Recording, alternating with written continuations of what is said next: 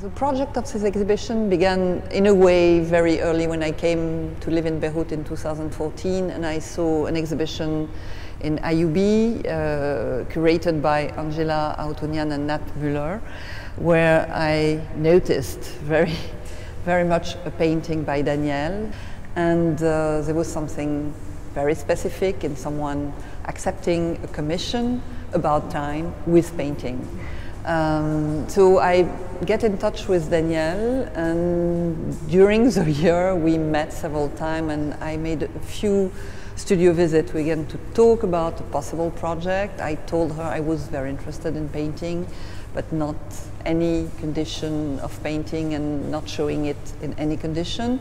And that's how we began to work about something that would be an installation about painting, but about yours. So I was really excited to start uh, thinking about a project when I first met with Marie and um, you know through our conversations the idea of thinking about the the show in the space um, very specifically and actually using the architecture and the conditions of how you moved through the space um, to actually add another layer to the work itself and, and actually create an experience where you could um, see the work.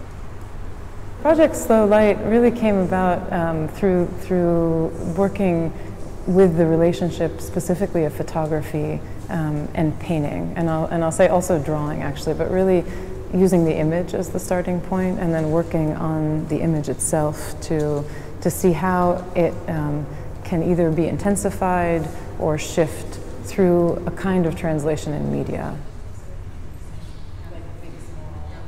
The way I usually work uh, with painting, actually, the, the origin really is an image I find. And actually, the works in this show, they each have a slightly different starting point. Um, so I think there's a there's this sort of tendency for people always to want to try to locate um, the place or the subject of the of the paintings, and in fact, it's it's actually trying to do in a way the contrary. In a way, it's actually trying to put um, place, if you want, or image into the background so that there's a certain uh, kind of visual experience and perception of light that, that becomes foregrounded. Um, and so the oldest uh, pieces are, are based on photographs that I took um, uh, all over the world, actually, um, and then reworked and combined to create either a sense of um, a, a, glow in the middle and a sort of losing the center to go towards, towards a, a periphery um, other works deal with, with the, the sort of unfixedness or fragility of an image, so an image that sort of loses its connection to its original, its origin, actually. So, you know, the relationship between painting and photography has now a very long story. Uh, maybe it's specific here, uh, even if you're not describing Lebanese landscape, and it's very important that the places are not specific. You are, you say that you are like giving a second life to a photograph through painting and slowing down somehow the phenomenon of photography. And uh, this visual information that you are gathering each time and playing with and disturbing and threatening sometimes is very much at stake, especially in the diptych that we have in the compressed space where you have the same landscape that is at some point a small colorful landscape and a big gray one same image but different condition.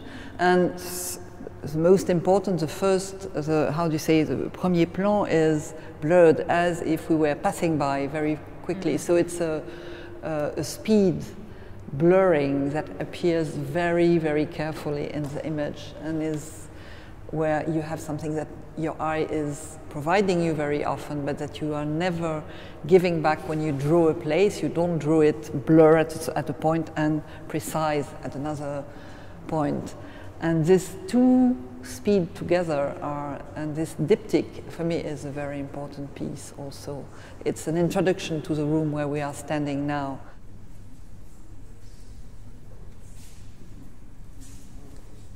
Uh, so one of the, the main parts of our conception of, of the exhibition was that actually you would have a kind of visual experience that shifted as you moved through the space. So we chose to put um, some of the older works, um, actually right in the front you're confronted by a screen print that's actually quite heavily layered that really deals with the photograph directly. Um, and then the show really begins as you move through a really um, a kind of large uh, tunnel type space that includes two light boxes and a film at the end. I mean, the idea with that was really to actually start with a space where your eyes could become quite sensitized to both light and to image. And so, so there are images there um, that are also layered, that are slightly moving, that have small shifts, but that are really kind of created um, uh, in a way through light itself, right? So it's a kind of material light. Um, and then as you move through that tunnel, you come to a compressed space um, with two, two images, a very large painting that's quite difficult to see because of the space itself, and a very small painting that is quite saturated but difficult to see because of the light.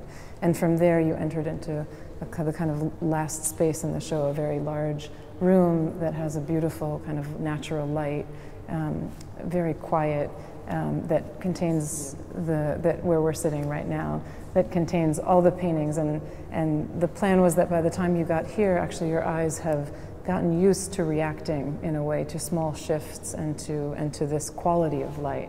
And so that when you start seeing the, the paintings, it's in that uh, kind of physical state that you begin looking.